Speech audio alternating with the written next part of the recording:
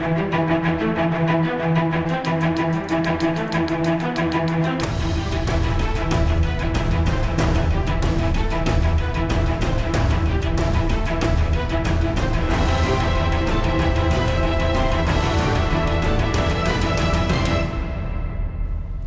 Вітаю, з вами Шах і Мат, Мене звати Андрій Нікітін. Сьогодні ми говоримо про молодіжне життя у Дніпрі. І з нами представники студентства Микола Ткаченко та Валерія Майна.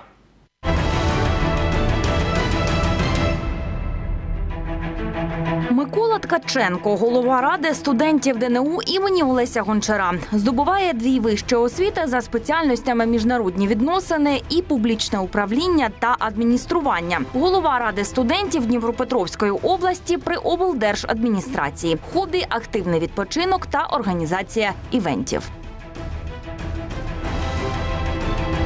Валерія Майна, голова культурно-масового комітету ДНУ імені Олеся Гончара, здобуває вищу освіту на факультеті систем та засобів масової комунікації ДНУ. Голова спортивного комітету на факультеті журналістики. Хобі організація масових заходів та фотографія.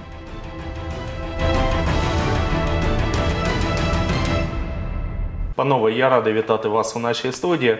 Власне, перше питання моє стосується того, що обговорюють як в Україні, так і в Дніпрі, зокрема, так і у всьому світі. Це пандемія коронавірусу. Вже другий рік ми перебуваємо у цій ситуації. Фактично, зараз Дніпро у зеленій зоні карантину, але ця пандемія нікуди не ділася, хоча йде вакцинація. От я би хотів за- задати вам питання саме як представникам студентства.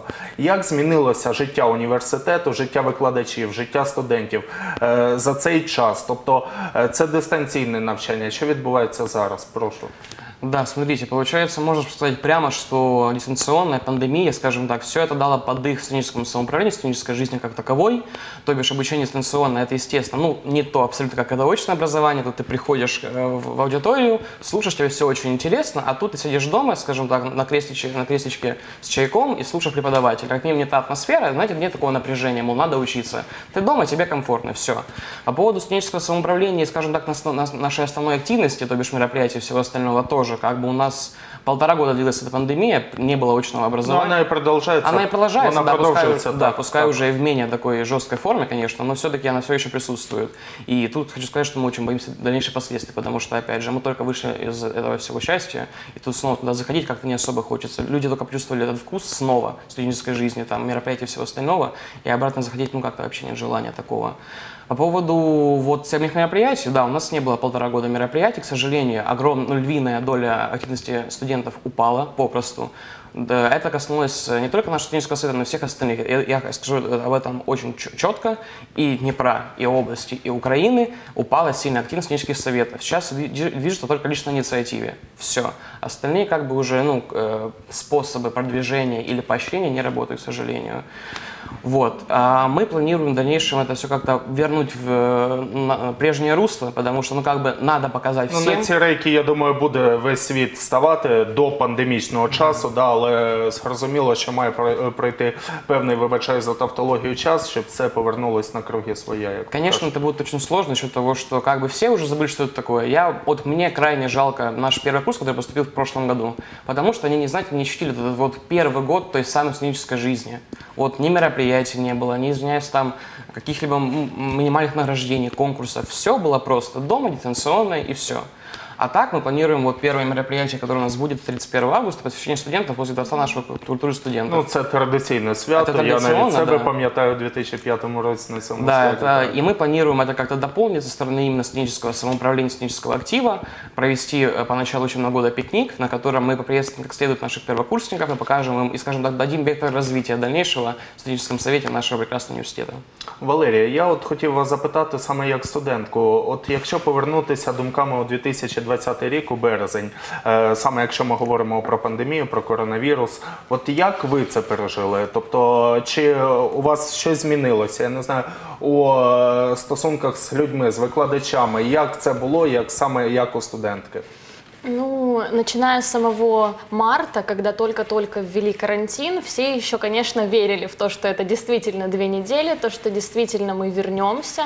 Но потом, когда все уже действительно поняли, что не произойдет нашего возвращения в скором времени, действительно как-то Карантин подкосил нас всех, и абсолютно у всех, я не единственная, у нас появилась работа, какие-то там дела, и учеба как таковая и мероприятие, она просто ушла на второй план, потому что мы можем просто подключиться с телефона, ну, на улице, на работе, везде. И поэтому как-то действительно вот очень сильно подкосило, потому что, ну, ушло все на второй план, и мероприятие очень хотелось вернуться, очень хотелось делать что-то классное, потому что у нас на март, на конец марта был запланирован мистер и мисс ДНУ. Это ежегодное мероприятие нашего университета, и все действительно верили, что мы вернемся, и как раз оно произойдет, но этого не случилось. И поэтому как-то студентская активность упала, и вот как-то всем было очень грустно. Так, ну досі так трохи трохи прикро через це, це все, що відбулося. Але я хотів вас також уточнити один маленький момент стосовно саме пандемії е, коронавірусу і дистанційного навчання. От е, доводилось чути таку думку у цій студії, в тому числі і від викладачів, від е, керівництва вузів, від чиновників, від е, керівництва нашого міста, нашої області, про те, що дистанційне навчання, дистанційна робота має певні і плюси. Ви ці плюси бачили, чи ви бачите лише мінуси? От е, цікавить ваша думка, а не те, що, скажімо так, у громадському просторі відбувається, оскільки ми знаємо, що говорили, що плюс не, не витрачаєш зайвий час на те, щоб е, їхати на роботу чи на навчання. От як ви це бачите?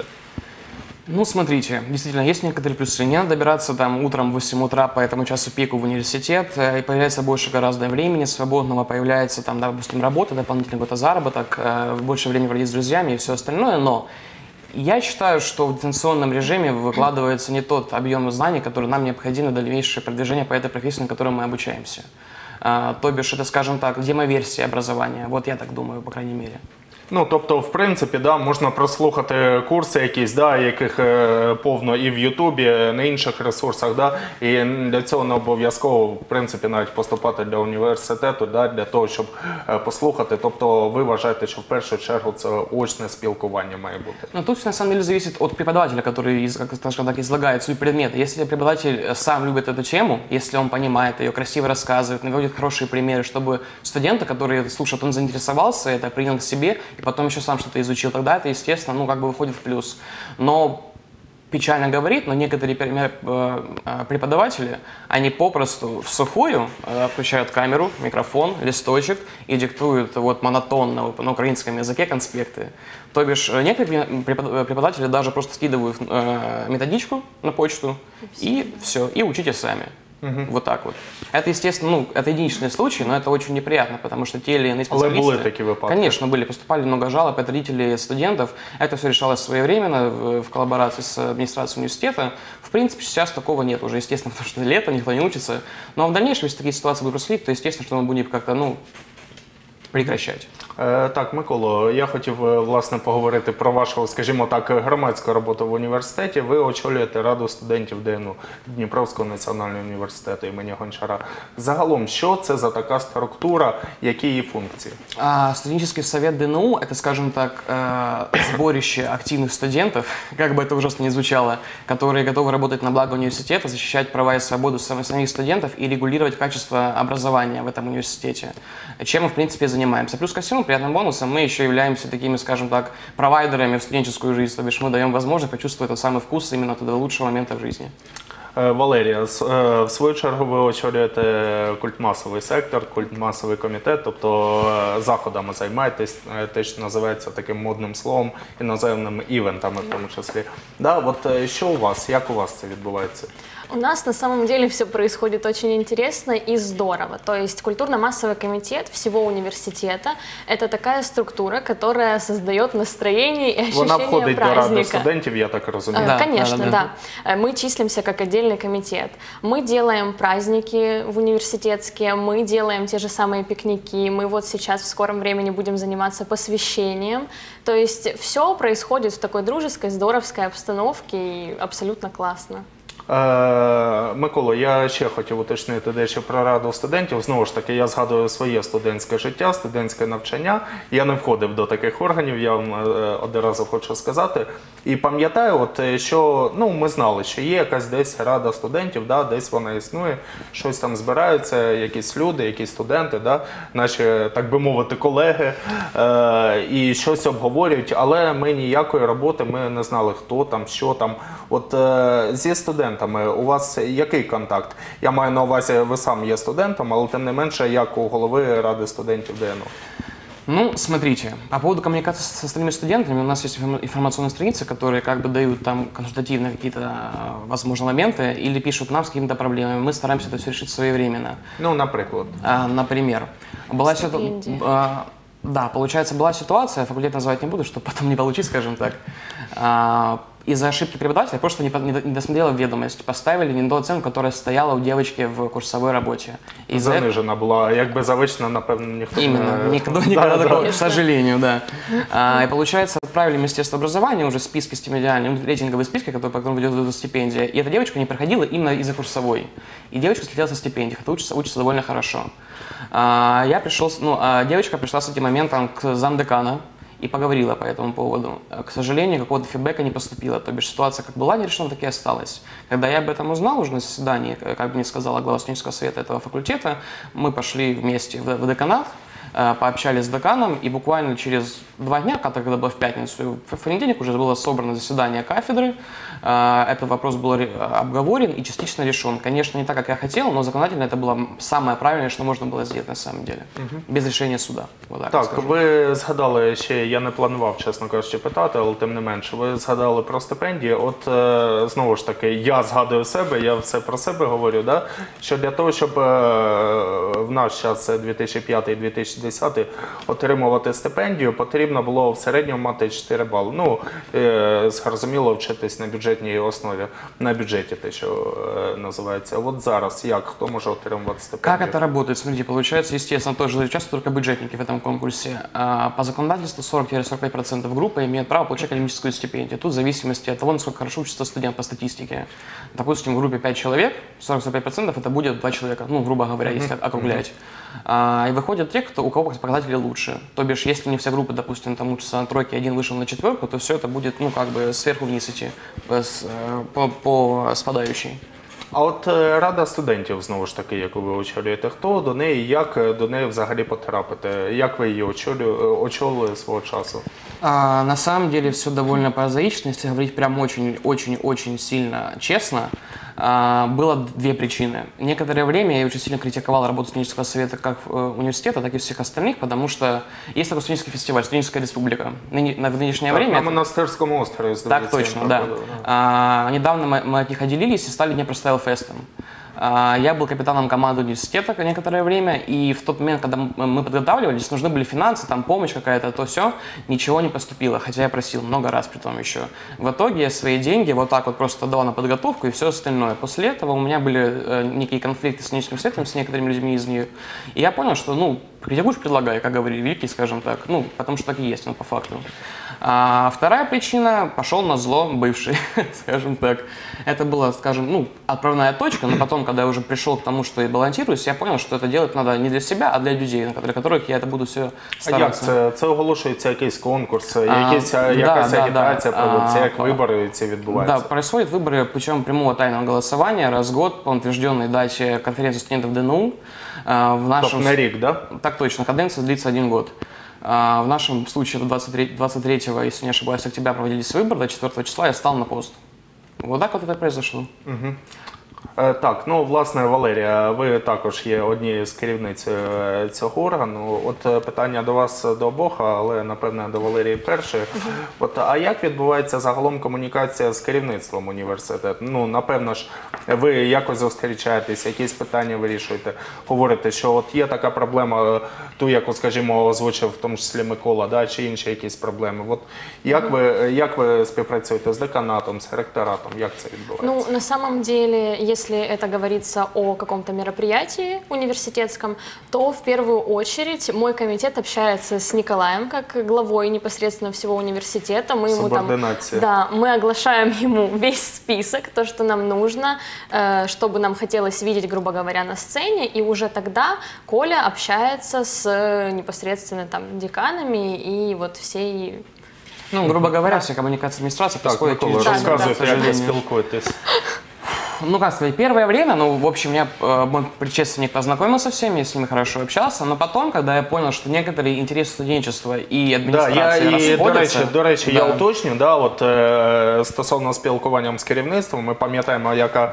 саме під час вашої каденції ситуація була. Да, так, е, попередній ректор помер, мінялись постійно виконуючі обов'язки. Тільки влітку, от буквально там я не знаю, місяць тому е, ДНО отримав ректора вже Да, без так и приставки есть. ВО. Были да. даже шутки, что Коля единственный преступник, при котором изменилось три ректора.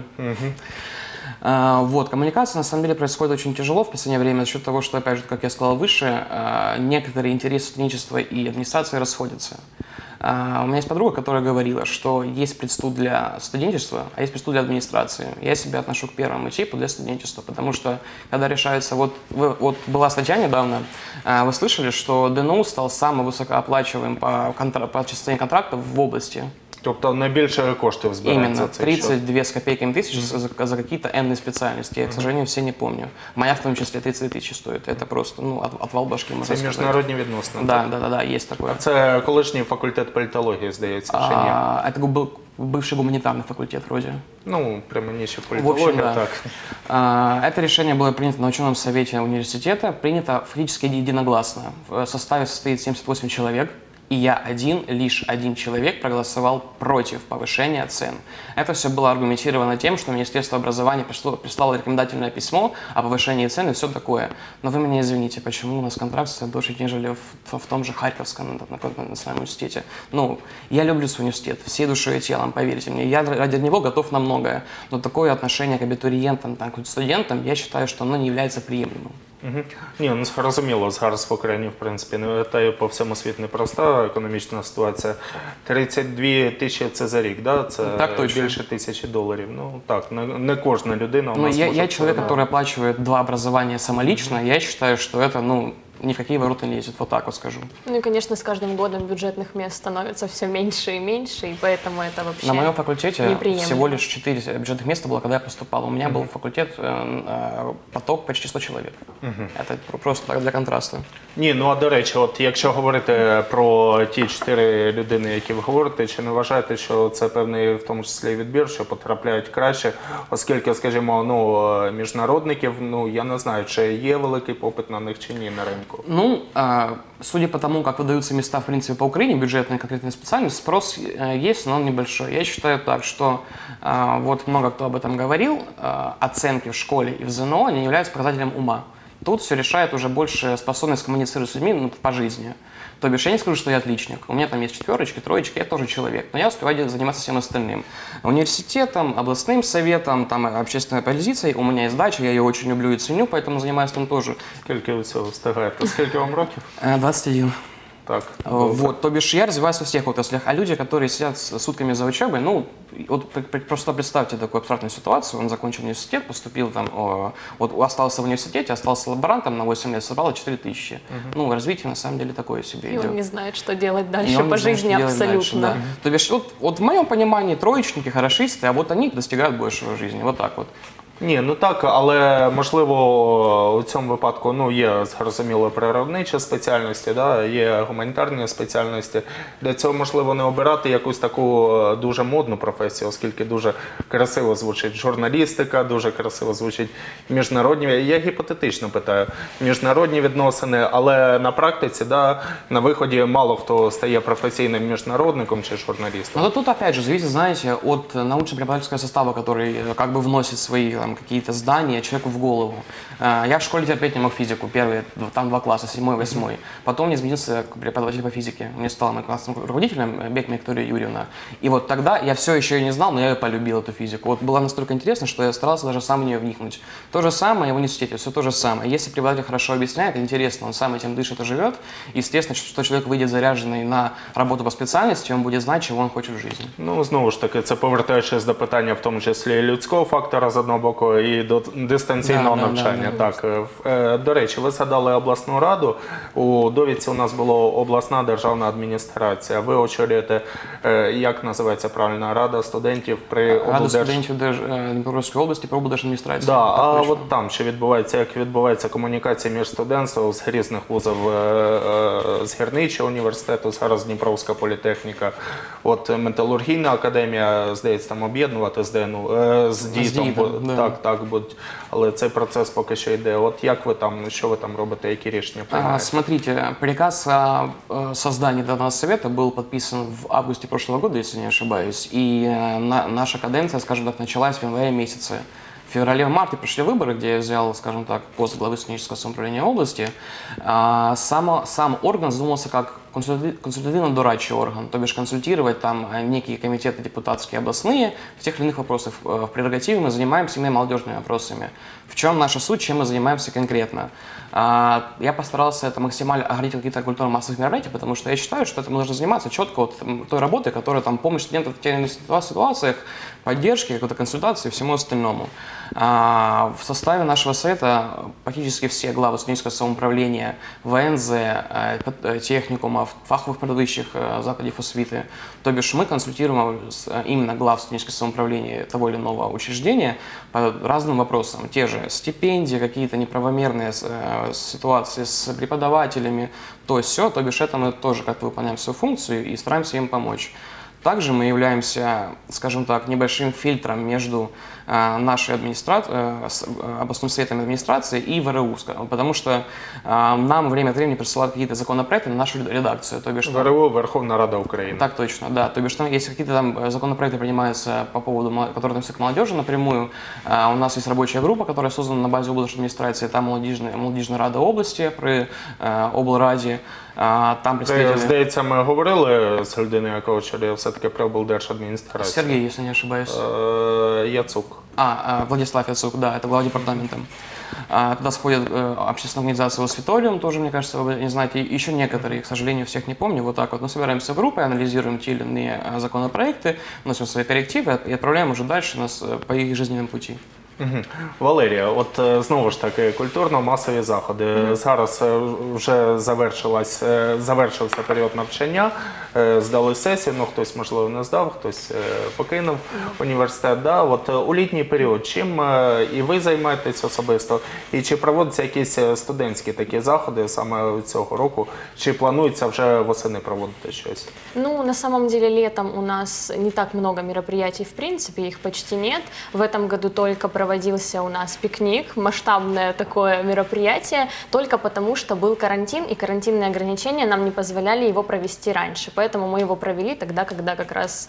а, Как только мы смогли получить да, разрешение как только на мы смогли. мероприятия. Вот. А в принципе летом... А студен- що, що це був за пікнік? Это был очень интересный пикник. Я веду в курс дела, просто дальше скажет уже Лера. А, Получается, э, я когда стал на пост, я грезил именно эти- этим мероприятием, чтобы когда уже по весне закончится, ну, там, ослабится карантин, мы сделаем такую мощную студенческую движуху, чтобы наконец-то дать, дать толчок дальнейшему развитию студенческого самоуправления. А, Каким-то прекрасный ве- вечером пятницы мы с моим замом Ильей Наприенко ехали домой. После собрания было часов уже 10, мы были оба уставшие, заезжали на Новый мост, и там э, наблюдали, все, наверное, видели этот э, «Жигуль» с э, гирляндами таксишных, который катается по нашему городу. И, не- и мне попала в голову гениальная просто идея – купить «Жигули». Сам себе не похвалиш? Да, вот, ну, это реально гениально, я, я по-любому так думаю. Э, Купить «Жигули» и разыграть на пикнике ДНУ среди студентов. И как-то мы за мысли зацепились, так, так, пошло, пошло, и вот как-то это реализовалось. А вот дальше уже Валерий, Да, думаю, на самом деле этот пикник, вот именно вот этот э, на моей памяти всей моей студенческой жизни, хотя она довольно-таки коротка, но все равно это был самый масштабный и самый крутой пикник, который вообще когда-либо проводился. Даже не только я так считаю, не только Коля так думает, а действительно очень многие студенты писали в подслуша на ДНУ, это в Инстаграме э, аккаунт, писали просто между собой, общались, рассказывали о том, действительно, какой был классный пикник. То есть вообще стандартно пикник — это приходят студенты со своими там покрывалами, едой, выпивкой, еще чем-нибудь, и просто сидят, отдыхают, на фоне играет какая-то музыка, кто-то играет на гитаре уже ближе к вечеру, и в принципе особо такого классного и такого прям запоминающегося не происходило. Ну разве что там кто-то подрался или еще что-нибудь. Вот. А в этот раз была сцена, был розыгрыш «Жигуля». Это вообще вау. Ну, студенты действительно были в шоке, особенно парень, который это выиграл. Он не верил своим глазам, ушам и всему остальному, ну, минут, наверное, там 30 точно. Вот, что еще у нас было. Очень много, помимо «Жигулей», было тоже розыгрышей на выпивку, на сертификаты Щось ви всякие. все про випивку, то про випивку. Нет, ну, мы не так Да, много ну пьем. що є, то. Да, так. да, вот. И разыгрывалось действительно очень много всего, играла музыка, и что самое главное, это все было организовано и здорово, вот благодаря Коле, благодаря его заму и всему, в принципе, студсовету. И очень большое было наше удивление, когда студенты просто под конец мероприятия встали и начали это все убирать вместе с нами. То есть, ну, действительно, это мероприятие прошло очень круто.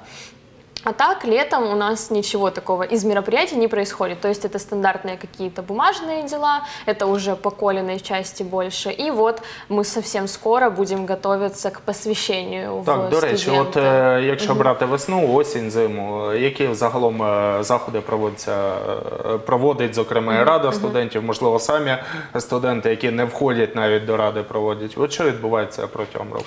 Ну, все начинается с вот этого, ну, так называемого мероприятия посвящения студентов. То есть все приходят абитуриенты, им там проводится какая-то э, концертная программа, ну такая небольшая, и дальше уже они расходятся по своим факультетам, и студсоветы факультетские, они их уже вводят в курс дела. Дальше у нас э, начинаются, нет, дальше у нас идет пикник, тоже в этом году, я думаю, он будет масштабный в этом учебном году. И после пикника начинаются Дни перваков. Это там э, факультетские мероприятия, на которых между собой группы ребят разыгрывают тоже какие-то призы. Дальше у нас в ноябре проходит Кубок ректора. Это самое масштабное мероприятие нашего университета, когда все 14 факультетов соревнуются между собой за, собственно, кубок. Вот. Ну, тобто багато досить заходів Да. проводиться. На жаль, у нас мало часу лишається, але тим не менш не можна не запитати, мабуть, Микола, до вас це питання. Оці всі заходи зрозуміло, організуватись якось студентство може. Але все ж таки, розіграш Жигулів, ви- про який ви сказали, і таке інше, це потребує певних коштів. Вам допомагає чи університет, чи якісь інвестори? Так, скажем, зайдем немножко издалека. Надеюсь, это не, не очень повредит. Здалеку не треба, півтори хвилини у нас. Ага, понял. В общем так, скажем прямо и откровенно, университет, к сожалению, свои обязанности по поводу помощи финансами и материально-технической базы не выполняет. Единственный человек, кто нам помогает в плане финансов, это СНИДа Евгений Олегович, глава про- проф- профкома нашего университета. Там происходит кое-какая поддержка финансами, но университет, к сожалению, этим не занимается в принципе.